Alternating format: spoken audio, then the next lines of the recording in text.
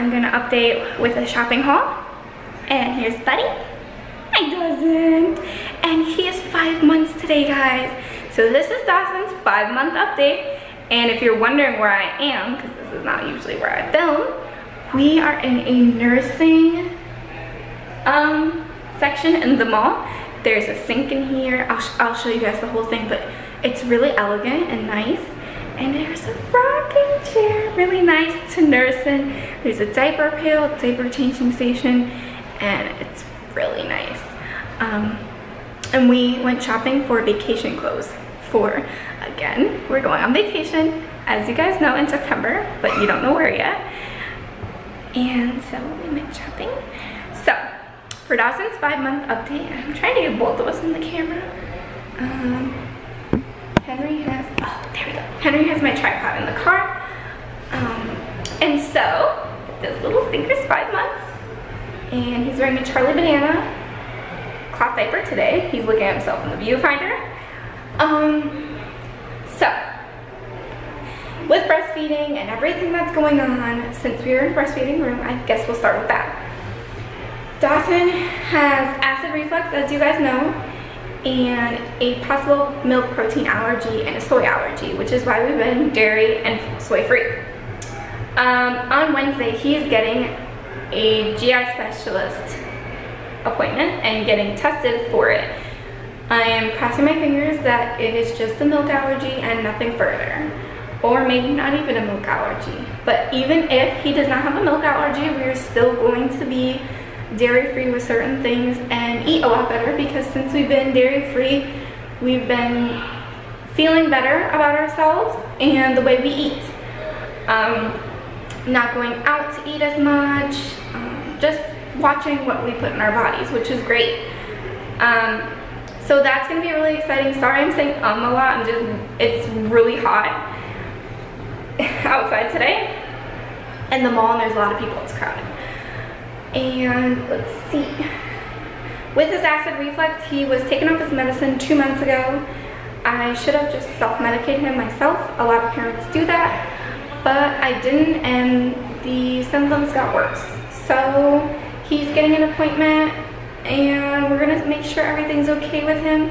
Nursing isn't being, isn't a great journey at the moment. I've had my breakdowns, as you guys know, and I've cried a lot. I'm probably gonna cry right now.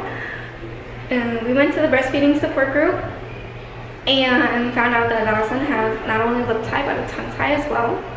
I don't know why it's not focusing on that. And that's why he doesn't bring back the nipple completely. And that's why he's having a hard time nursing. He seesaws my boobs back and forth. I have to have both of them out when I feed him sometimes.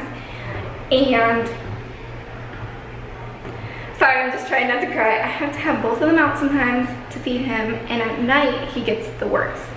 He cries so bad and he refuses the boob, pushes me away even though he's hungry, throws a fit to the point where he just falls asleep and becomes so hungry that when he wakes up, he really, I don't know why it's not focusing, really wants food.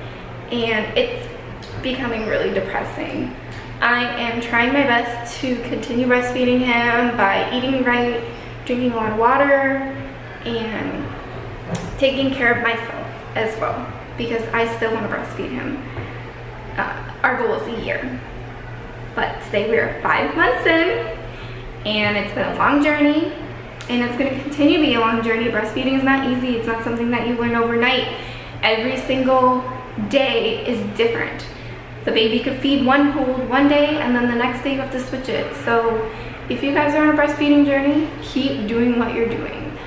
Um, you'll get there and it gets better, it gets easier.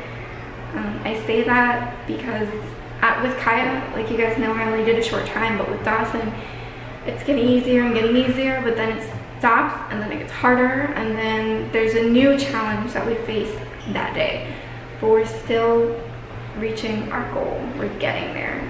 Um, and it's, it's very sad, but I'm doing everything I can in my power to continue breastfeeding him. We have been using formula and giving him bottles, small bottles, sometimes he will take two ounces depending. And I do nurse first. And if he refuses the boob and freaks out and cries and, you know, I can't do anything and I can't pump, I have to give him a bottle because I'm not to refuse food from my child. I'm I'm not doubting myself. I'm not um, I don't feel bad giving him formula. I just breastfeeding is something that I really want to do. And you know, if it's something that we end and we don't make it to a year, it happens. And I know that I didn't fail myself and I didn't fail him because I gave him enough that he needed. If I still get breast milk, then I will definitely donate. That's something that I want to do as well if we don't, we can't keep breastfeeding. Um, we'll see how it goes. And I'm going to keep you guys updated as much as I can. Um, I will talk more about breastfeeding.